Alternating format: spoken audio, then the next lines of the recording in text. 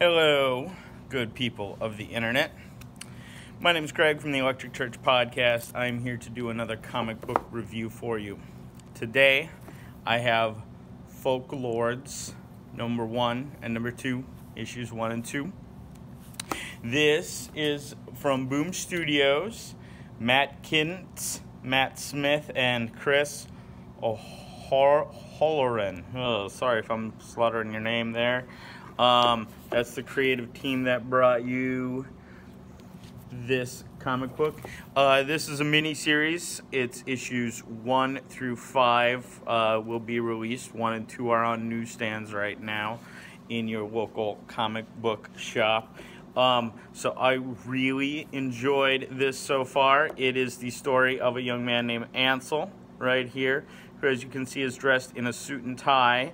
Um, but dresses rather odd for his medieval village. They all find his manner of dress obscure and tell him so. He says it's his quest outfit.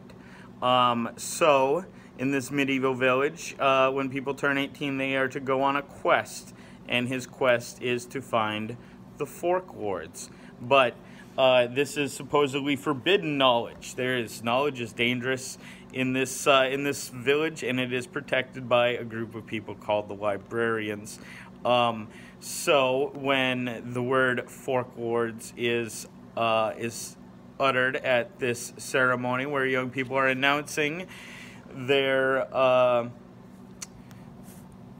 their quest, uh, the librarians step in and say, no, no one can go looking for the Folklords. Knowledge is dangerous. Uh, we're going to assign you quests, and you, you're going to have to follow our rules. Um, and so what it really is is the story about authoritarianism. Um, and I think there's probably going to be some fourth wall breaks. They're kind of teasing that already. Um, issue two you see him go on his quest, start to begin his quest.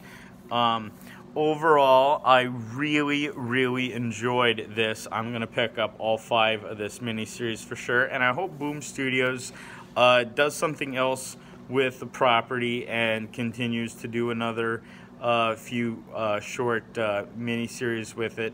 Um, like I said, I really enjoyed it. The artwork is uh, cartoonish and is very appropriate, I think, for the story.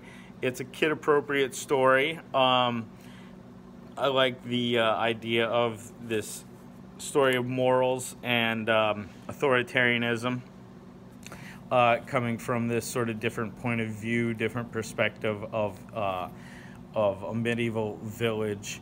Um, and I think I mentioned already there's been sort of a tease on a fourth wall break, and I think that's probably where we're going to end up in the series is him finding out that he is a character in a story in and of itself, and the folk, folk lords being the, the creators of the story, most likely, um, not to spoil something that hasn't been manifested yet, but um, I think that's probably where it's going. Nevertheless, even though I can see the I can see the probable outcome. I still thoroughly enjoyed this. It's kid appropriate if you uh, are looking for something for your kids to read, if you're looking for something that's non superhero ish.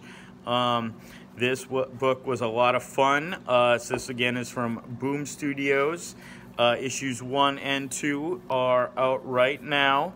Um, so go find them at your local comic book store. And as always, support local businesses. Support your local comic book store, your local cafe, your local coffee shop, uh, all of those places, and many more. Most of the businesses in this country are family owned corporations, so keep that in mind and buy local, support local. Thank you very much for watching. If you enjoyed this video or any of our other videos, uh, hit subscribe, hit the little notification button, and of course share uh, these videos on social media. Thank you again for tuning in.